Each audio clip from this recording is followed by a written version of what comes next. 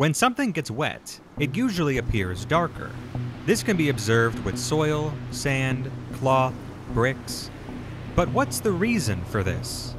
How does water soaking into the material change its optical properties?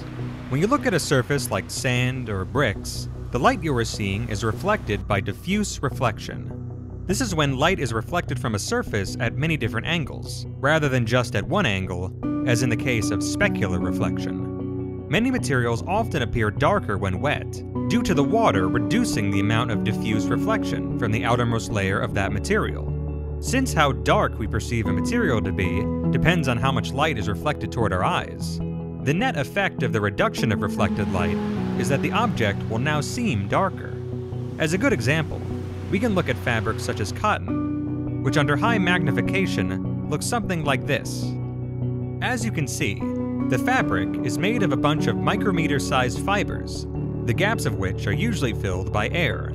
Now what is important for the optical properties of the material is that the fibers and the air have different refractive indices. This refractive index number is the measurement of the bending of a ray of light when passing through one medium to another.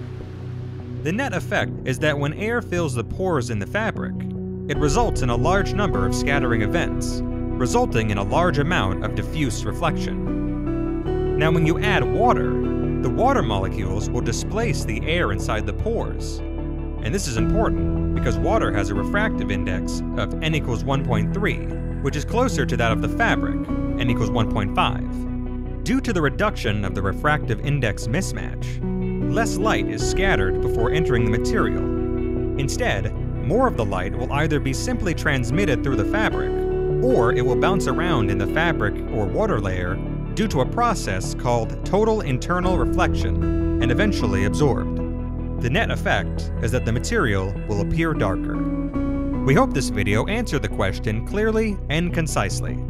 If you have any other questions that you would like us to tackle, make sure to leave them in the comments section below. And until next time, make sure to like, comment, and subscribe.